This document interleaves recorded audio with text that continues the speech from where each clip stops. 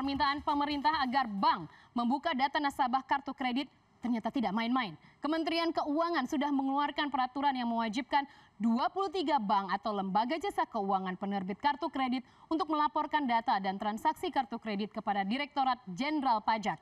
Kewajiban tersebut tertuang dalam peraturan Menteri Keuangan nomor 39 tahun 2016. Aturan tersebut ditetapkan sejak 22 Maret dan telah berlaku sejak PMK tersebut diundangkan.